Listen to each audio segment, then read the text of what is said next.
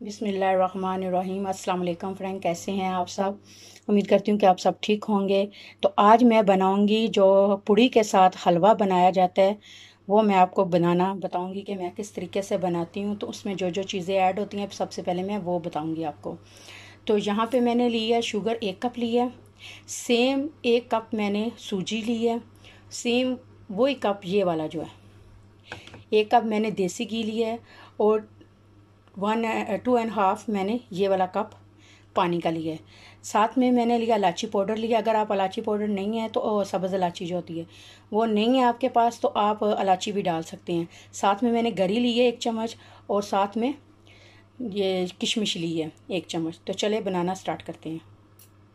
तो कढ़ाई मैंने चूल्हे के ऊपर रख ली थी तो नीचे मैंने फ्लेम ऑन कर लिया था। अब मैं घी इसके अंदर डालती हूँ, बिस्मिल्लाह।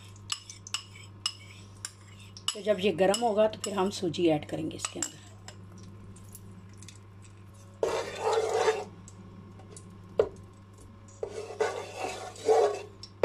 अगर आप हर चीज़ सेम लेंगे तो बहुत अच्छे से हलवा आपका रेडी होगा।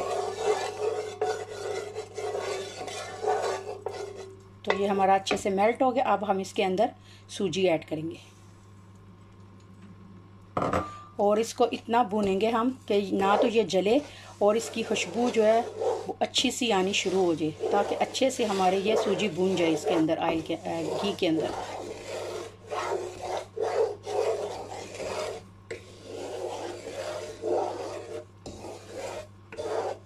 क्योंकि सूजी अच्छे से भुनी होगी तो हलवे का भी मज़ा आएगा।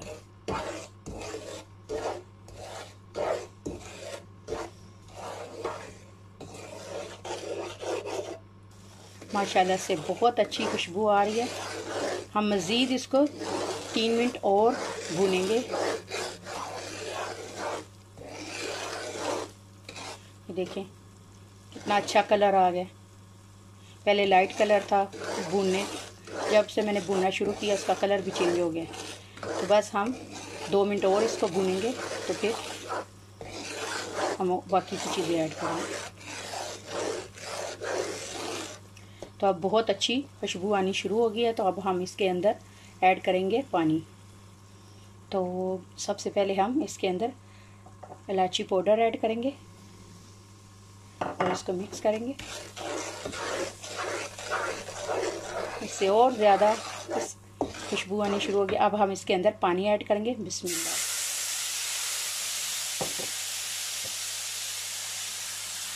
तो साथ ही हम शुगर ऐड कर देंगे।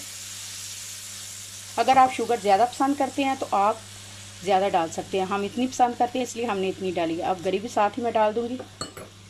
कोकोनट जो है, और साथ ही किशमिश डाल दूँगी। तो अब इसको अच्छे से मिक्स करेंगे और चमचा चलाते रहेंगे।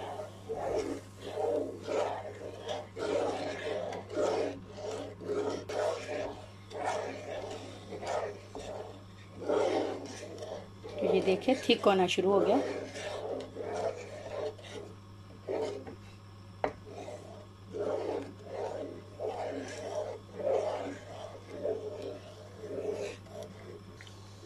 हमने इसको इतना भूनने के ऑयल घी जो है वो हमारा अलहदा हो जाए और जो हलवा है वो अलहदा हो जाए।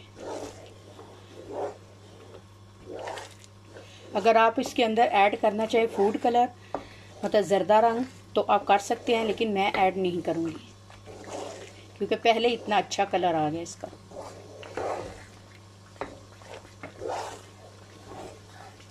तो ये देखें, इसने घी छोड़ दिए माशाल्लाह से कितना अच्छा रेडी हो गया। तो अब इसको मैं डिश आउट करती हूँ और आपको दिखाती हूँ। बहुत अच्छी खुशबू आ रही है, माशाल्लाह से, माशाल्लाह। तो ये देखिए, माशाल्लाह से हमारा हलवा भी रेडी हो गया। तो अगर आपको मेरी ये हलवे वाली रेसिपी अच्छी लगी तो सब्सक्राइब करें लाइक करें शेयर करें फैमिली और फ्रेंड के साथ। तो दो में याद रखना न्यू रेसिपी के साथ दोबारा हाज़िर होंगी। अब इजाज़त चाहती हूँ, अल्लाह हाफिज़।